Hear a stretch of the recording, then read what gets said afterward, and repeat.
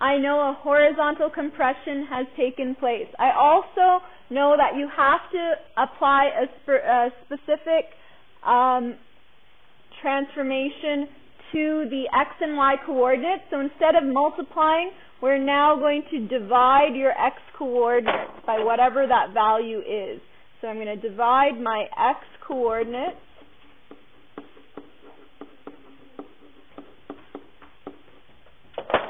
by whatever your q value is. Divide your x coordinates.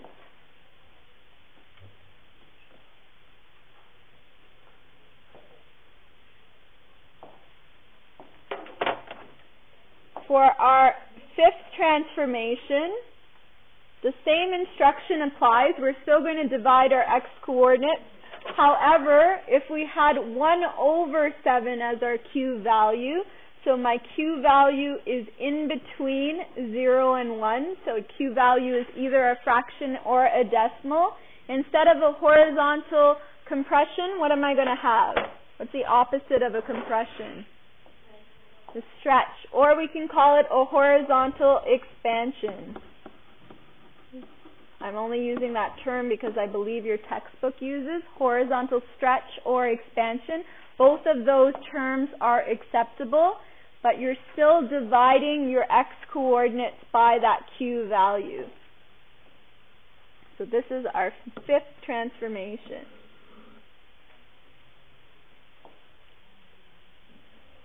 Horizontal expansion. Please do not confuse that with vertical stretch and vertical compression because they're very different things. And the most important part of all this is what do you do with your coordinates? And you're going to see why a little bit later on. So we're dividing our x coordinates by q. Okay, one more thing with our q value that I want to go over. So if I had y is equal to, but instead of a negative in front, I have my f of x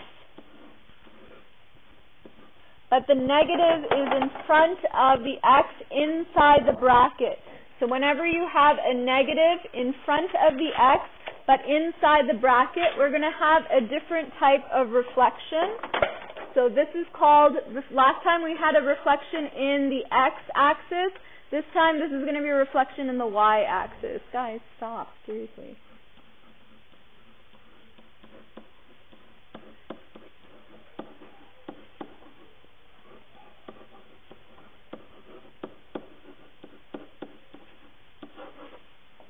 Reflection in the y-axis.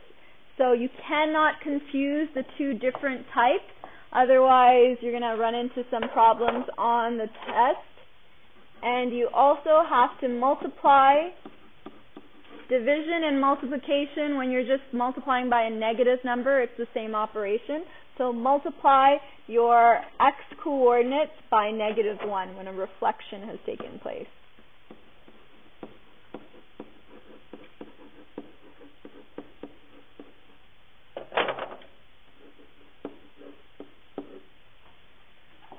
Okay, so that is my sixth transformation.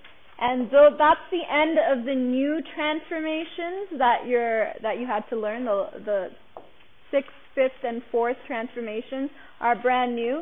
Everything else is going to be the same, except for one little thing that I want to show you right now. So we're going to string together what we've learned so far.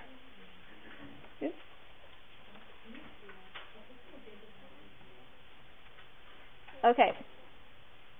So, if I gave you y is equal to 3 times f negative 2x minus 8.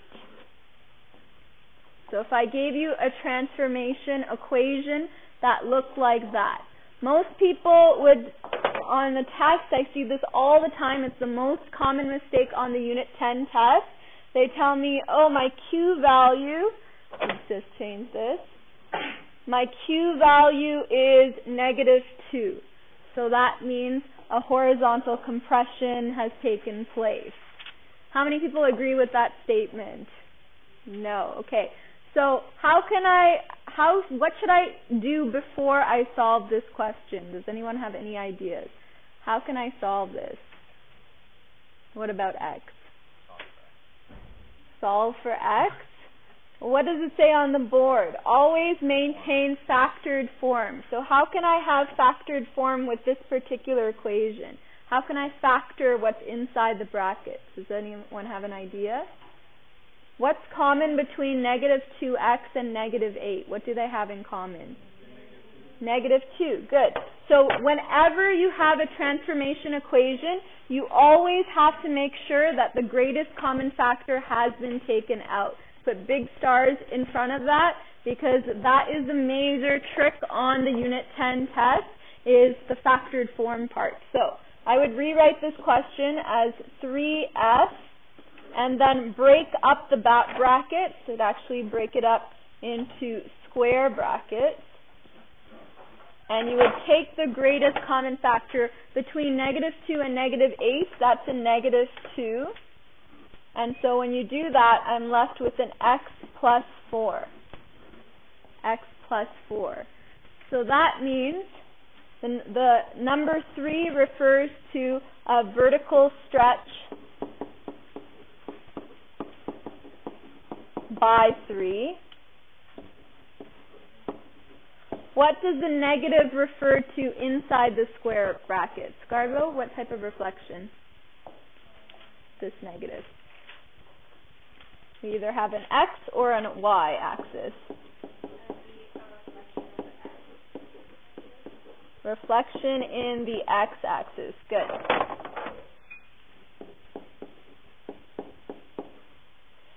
And the number two, our Q value, so remember our Q value is not negative 2. The negative always refers to the reflection.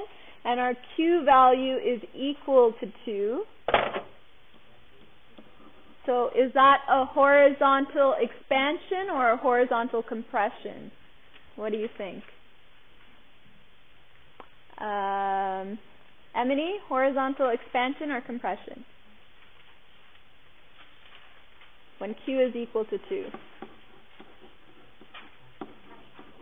Horizontal compression, yeah, I want you guys to pay attention over there. So horizontal compression by 2. So for the transformation, yep.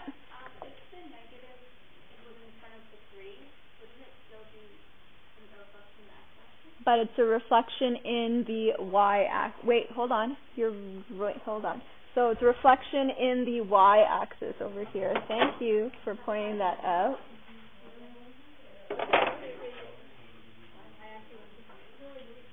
Okay, thank you.